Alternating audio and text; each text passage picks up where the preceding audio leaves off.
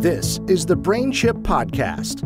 Hear from our thought leaders about neuromorphic computing, beneficial AI, and how BrainChip's Akida is pushing AI to the edge. This podcast is a place for investors, practitioners, and anyone interested in the future of AI. Hi, this is Steve Brightfield, Chief Marketing Officer for BrainChip. Uh, this is the first in our series of Edge AI Partnership podcast. It's a, a, set of conversations with key partners of BrainChip to bring Edge AI applications to life. Each partner brings a set of key expertise to the market that can transform uh, uh, industries with their expertise, converting data to neural models running on BrainChip's Akida platform. Many of these companies will feature their software and products and demos on Akida's Edge AI box. And this partnership is to highlight the capabilities and the functionality that they have. First in line for our podcast is Quantum Ventura. Quantum Ventura conducts R&D for federal government customers in the areas of machine learning, hyperspectral imaging, hypersonics, cybersecurity, computer vision, synthetic aperture radar, and metamaterials based on meta optics, just to name a few. Wow.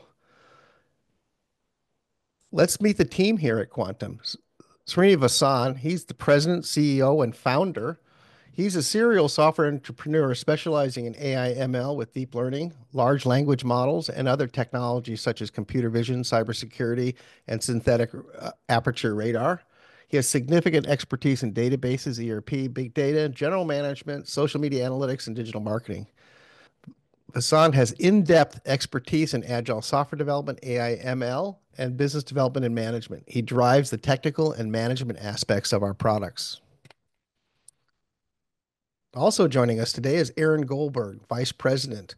For the past 15 years, he has been a consultant working in the business development, strategic partnerships, and sales and marketing for startups. Currently based in Silicon Valley, he has been involved in multiple high budget technology development initiatives with Quantum Ventura, uh, taking enterprise scale customized software as well as commodities procurement, refining, and brokerage.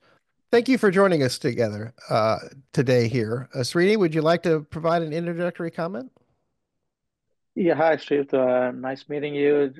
I'm very excited to discuss about the opportunity and uh, the exciting things that are happening in the marketplace. Aaron? Hi, Steve. Uh, pleasure to be here and looking forward to uh, discussing how we're going to be able to work with uh, BrainChip and uh, bring our cybersecurity to market. Perfect. So glad to have you here. So the reason I, I brought you here is you've done some exciting developments with BrainChip, and we just want to really bring them to light. And you know, one of those areas that we collaborated over the last year and a half is in development of some cybersecurity technology on the BrainChip uh, uh, Akida neural net uh, morphic platform here. So you, this is a very exciting field, cybersecurity. Um, I have a question. Maybe I'll start with you, Aaron. How did Quantum Ventura get involved in cybersecurity? Well, back in 2015, so that's almost a decade ago now, we were initially focused on SEL4 secure kernel technology and Linux Android kernel securities. Uh, but we were ahead of our time and the adoption was way too slow. As anyone in Silicon Valley will tell you, being ahead of the curve is just as bad as being behind the curve. So around 2020, right? Uh, around 2020, we received a multi-million dollar Department of Energy grant and changed our focus to AI-driven HPC petabyte scale network intrusion detection systems. We call it Cyber Neuro RT, RT standing for real time, or you can just call it CNRT for short. Thank you, and that's really fascinating. So maybe Srini, I could ask you, can you describe this project that you worked with under the Department of Energy contract? Yeah, yeah, under the SBIR phase two funding. SBIR, that's what small business, uh, you know, uh, independent research. Yeah. What is SBIR? Yeah, SBIR is Small Business Innovation Research Funding. Thank you. Uh, under the under the phase two funding, we developed a fully functional prototype to demonstrate an enterprise-grade intrusion detection system that can work on large servers, neuromorphic servers, and hybrid cloud. And we basically we completed our prototype in April 2024, and we have we continued refining the product. Now we are ready to launch the product commercially in the marketplace. Well, that's fantastic. Maybe Aaron, maybe you can talk about, you know, uh, how that development effort translated into something that you feel is a commercially viable solution for cybersecurity. Well, well uh, with our systems uh, deployment flexibility, we foresee all major government agencies, uh, institutions of higher learning, national laboratories, and essentially any large scale business enterprise utilizing CNRT as their one stop for all things secure network protection system. Uh, we've designed the systems in such a way that it can scale up or scale down depending on the user's needs. For example, with simple commands, our system can remotely control servers to begin collecting network data. This way, CNRT can work for a single server or thousands of servers distributed across a network. So this isn't a point solution that sits in one location, but it is basically a capability that you can extend across a customer's network. Is that correct?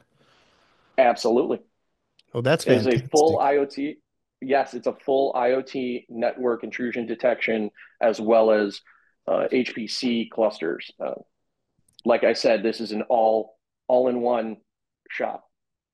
So, you know, part of what you've done is work with uh, with BrainChip to put this onto our neuromorphic processors, and uh, I know there's a lot of choices out there in the marketplace to do this. Typically, uh, uh GPUs have been deployed for this in data centers. Uh, maybe you can uh, explain why you selected a neuromorphic processor for the, this use and what advantage it brought to you. Oh, gladly. neuromorphic processors will be the ideal platform for systems that cannot afford to operate on large amounts of power. For example, UAV systems or IoT systems. So these would need smaller platforms that consume less power, and the machine learning model sizes have to be smaller as well. So if the neuromorphic processors are embedded inside a fully functional Linux appliance, it will be the perfect standalone solution for these use cases. So using a system like this, we can perform a real-time threat detection at the edge level without having to send the data to the central server. For example, if there is an impending attack at the edge computer level, we can detect these attacks much earlier without having to wait for the central computer to intervene. This will save a lot of time and a considerable amount of money respective to the size of the user's organization, uh, whether it be a small up or enterprise scale. The timing is everything in cybersecurity. I'm sure you're aware. Uh, one minute delay could cause millions of dollars in losses if you don't shut it down in time, right? Well, with the AI models running at the edge, our network security monitoring can provide protection against cyber threats faster than ever before. Wow. Okay. Uh, so in addition, you, you basically said there was two issues there. One was is the the the size, weight, and power of the solution is shrunk using neuromorphics, but you're also saying this creates another advantage, which provides a, a more responsive solution. Is that correct? Hundred percent. You have low SWaP and faster reaction time. Okay, that's fantastic. So, how does this help you uh, for particular access points or network gateways that might not be uh, served well with the, the legacy solutions? Okay, so the underserved and vulnerable points across the, the market would be IoT, uh, medical devices, that's big, uh, industrial systems, you know, such as robotics, automation, et cetera so our product suits different markets differently, and it can be very customizable, uh, whether it be on premise or cloud or a hybrid solution, uh, such as uh, non data center or non PC connected devices, respective to what pinch points they have for their protection, uh, for their security um, uh, uh, needs. So that's fantastic. I'm excited to hear about that. So maybe Srini, you can comment on this. So how can that impact, you know, incorporation of cybersecurity into these new network product solutions? You know, until the neuromorphic processors, so the appliances came along, such a solution was not feasible. Uh, as we all know, the GPUs consume a lot of power. Uh, when, when you have a neuromorphic appliance like the one from Akida, uh, they really they completely change the game. There is there's going to be a paradigm shift because you are having a Unix Linux appliance running neuromorphic processing at full speed. You're running a full machine learning model and doing the cyber security threat detection. You know, it's it's good. It's a very powerful solution. So this means it doesn't just um, you know replace an existing implementation, but it actually changes the way that you can address market problems with it with this uh, smaller, lower power functionality. Then, right? Exactly, exactly. So you, what you're doing is you're distributing the the, the, the entire cybersecurity threat detection model. You are doing a considerable amount of work at the edge, and you're distributing it doesn't stop you from doing the centralized processing. So you're complementing the centralized processing with an edge computing. So you're basically ensuring that there is more level of computing and more opportunity to detect threats. So nothing will slip out. So, you know, one of the challenges I see in cybersecurity, the threat's always changing, though. So, um, is your uh, solution adaptable to that? I mean, what happens when new threats come on board, and, and, and how do you deliver a product to the customer that addresses that issue? We have a capability to do a remote update, so you don't have to go to the physical device. We could wirelessly, since it's a Linux device, it's a Linux appliance we will be able to remotely update the model. We could be able to bring in additional models. We could be able to bring in some additional data. Everything is possible. You know, a lot of people want that assurance that they're protected. And, uh, you know, part of having something as updatable gives them that confidence. Maybe, Aaron, you could comment on how, how you uh, can measure customer satisfaction or, or uh, ability to uh, to give customers what they're looking for for cybersecurity protection? Uh, sure. Uh, well, one great uh, uh, litmus test would be the the MRR for for the subscription base. as that increases, you can tell you have customer satisfaction, but a lot of the telltale uh, uh, indicators would be uh, how many how, how many hours our support team would have to spend uh, working with the um, on-site uh, network administrators uh, for for each user, or how many support tickets come in, or, or, the lack thereof, I should say, support tickets come in, uh, the robustness of our system as it stands right now, uh, we can foresee after installation and training with the uh, network administrators, we could foresee uh, very little uh, support tickets being sent in. And um, that being said, only time will tell. However, we we don't foresee many hindrances or, or obstacles to uh, the deployment of our system across their networks. So, Aaron, tell me, where do you see the future of cybersecurity using neuromorphic computing going, and and how will it impact the industry? Well, to add to what Srini was saying before, uh, for a wide variety of markets, we see significant business opportunities for the neuromorphic processors that are embedded into a Linux appliance if multiple neuromorphic processors can be combined, we can deploy larger and more innovative machine learning models to detect cyber threats. We can remotely update these machine learning models to keep them up to date. And at the same time, we can transfer the remote entries into a central server to do further processing. So, edge computing driven by neuromorphic appliances will greatly reduce latency in detecting cyber threats increasing threat response efficacy and saving lots of time and money. Well, Aaron, you just rebranded my Edge AI box. I never thought to call it a neuromorphic Linux appliance, but it's hmm. really a great explanation. It's a Linux box that has multiple neuromorphic chips into it, and uh, we're looking forward to seeing your uh, models running and, and being deployed on that Edge AI box. So uh, maybe you could comment on on uh, uh, uh on where your company is today and offering uh, products in this area. Yeah, our product CNRT right now is available in multiple configuration. You can use it in different uh, target markets. We have an enterprise version, we have a small business version, and we have a neuromorphic appliance version, which we will be working with you guys. Uh, each one of them will cater to a different market. If you can combine all of them together, you can have an IoT network, you can have an enterprise network, you can have uh, smaller smaller networks, the regional networks.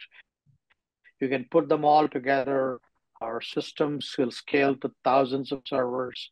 You can run it on one server all the way to thousands of servers. So we're looking forward to strategic customers to deploy our cutting edge solution. Right now, we're discussing with a very major defense contractor uh, for a large scale installation. Well, that's exciting to hear. And the all the work that you've been doing, I think, is going to be a great interest to people in this marketplace. Um, you know, the the day of of trusting anything that comes over the network is over these days, and having some assurance that you've got AI watching is is a lot better feeling. And it really sends some purpose to AI in this world where people are afraid of what AI can do. But if it's protecting you, I think it's going to be something that everybody's pretty excited to get. Uh, in, in a product, and it's fantastic that you've been able to take all your uh, uh, expertise in in this area from development in the Department of Energy contract and translate it to the commercial marketplace and make it available for enterprises and even small businesses. That's really exciting to hear from the team here at Quantum Ventura. Is there anything else that you'd like to to comment about uh, in in the the market here or what Quantum Ventura uh, sees in the future in this area?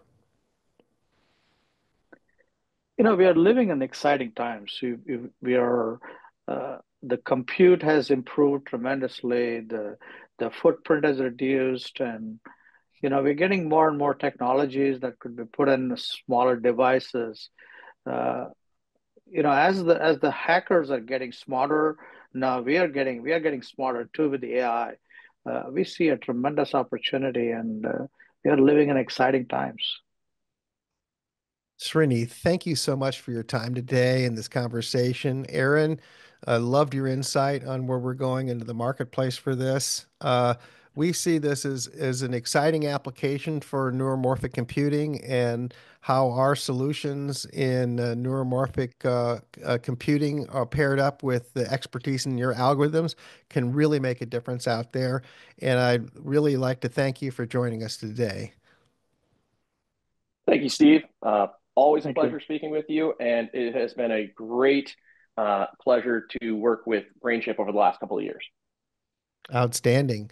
Well, um, we'll hopefully do another series here when we can talk about some of the customer successes that you're having with this product, and uh, we'll look forward to promoting your your solutions and demos and uh, continuing this uh, partnership. Thank you again so much.